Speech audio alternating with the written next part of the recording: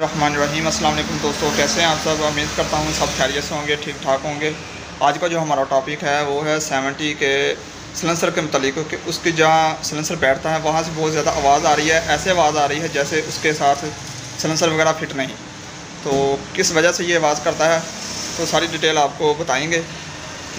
तो वीडियो शुरू करने से पहले मेरी आपसे एक छोटी सी रिक्वेस्ट है। अगर आप हमारे चैनल पर न्यू आए हैं तो काइंडली चैनल को सब्सक्राइब ज़रूर करें, साथ लगे बेल आइकन को आल पर क्लिक करें, कि ताकि जब हम वीडियो अपलोड करें अपलोड करें तो वो आप तक नोटिफिकेशन पहुँच सके।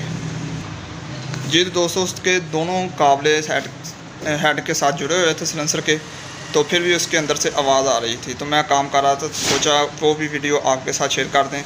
तो फिर जस्ट मैंने उसके दोनों काबले खोल दिए हैं। उसके बाद जो प्रोसेस है वीडियो का, वो आपके साथ शेयर करते हैं। अभी आपको पहले बाइक को स्टार्ट करके उसके पहले साउंड सुनाते हैं, बाद में बताते हैं कि इसका क्या हल है, उसको कैसे सॉल्व करना चलिए दोस्तों, पहले बाइक को स्टार्ट करते हैं और इसका साउंड सुनते हैं।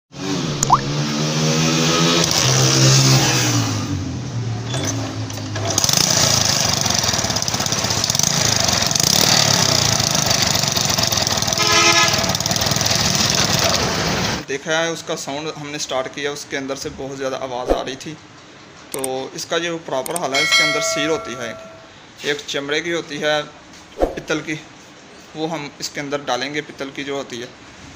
तो उसके बाद हम नीचे वाले जो बोल्ट होते हैं, वो अच्छे तरीके से टाइट करेंगे तो बाद में देखेंगे उसके अंदर से आवाज़ आ रही है कि नहीं।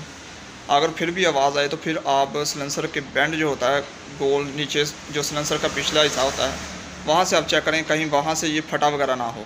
यहाँ फिर ऐसा होता है जहाँ पर सील बैठती है, वहाँ उसकी फिटिंग जो सीट होती है, ये वो उसकी ठीक नहीं होती, ऊपर नीचे होती है, जिसकी वजह से वजह से इंजन हवा लेता है और आवाज़ पैदा करता है। तो फिर भी सील न्यू डालने का कोई फ़ायदा नहीं होता।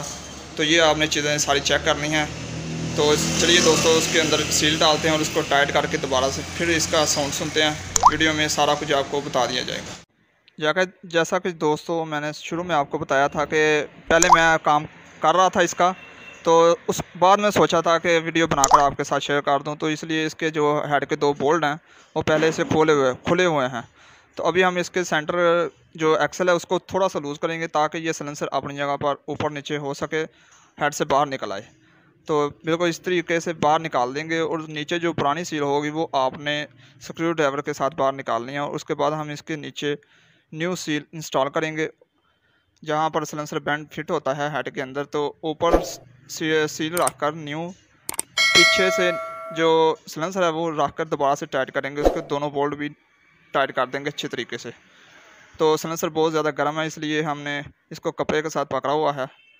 दोबारा से फिट करने के बाद आपने ये जो नीचे स्पोर्टर पतरी है, इसको रख के दोनों बोल्ट को अच्छे तरीके से टाइट कर देना है।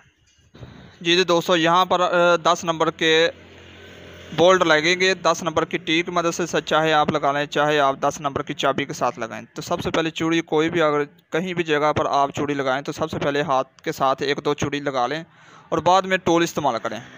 तो पहले ही अगर टोल इस्तेमाल करेंगे तो उससे ये होगा कि चूड़ी डैमेज भी हो सकती है और चूड़ी टेढ़ी भी लग सकती है।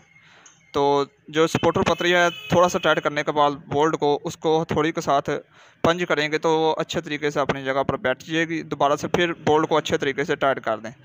अगर आप थोड़ा बहुत बोल्ट को लूज़ रख देंगे तो उससे आवाज़ पैदा होगी और सील भी जल्दी सड़ जाएगी। मतलब कि ज़्यादा ज़्यादा गर्म हो जाने की वजह से जब अंदर से हवा निकलेगी जहाँ से तो उस जगह से वो सील ख़राब हो जाएगी डैमेज हो जाएगी, फिर दोबारा से आवाज़ देना स्टार्ट करेगी। तो इसलिए बोल्ट को अच्छे तरीके से टाइट करने और आखिर पर सेंटर एक्सल जो हमने खोला था वो दोबारा से टाइट कर देंगे। और बाद में इसको स्टार्ट करके इसका साउंड सुनते